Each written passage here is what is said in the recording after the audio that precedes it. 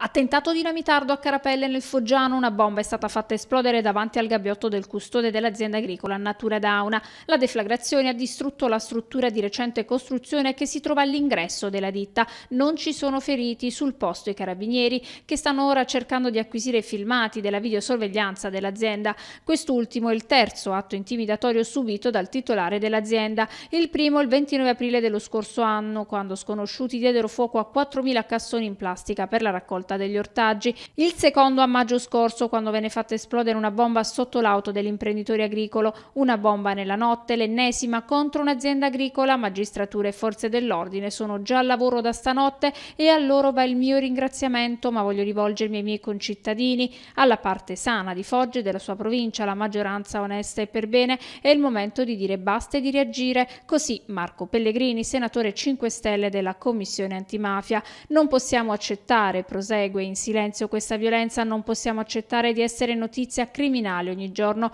Dobbiamo urlare il nostro sdegno, stare vicino alle vittime e agli inquirenti perché c'è gran bisogno della voce della società civile che lotta contro la violenza, le bombe. Non è il momento, conclude, della paura ma della volontà, altrimenti si condanna Foggia a non avere un futuro prospero per la violenza cieca di pochi che si arricchiscono sulle spalle di tutti.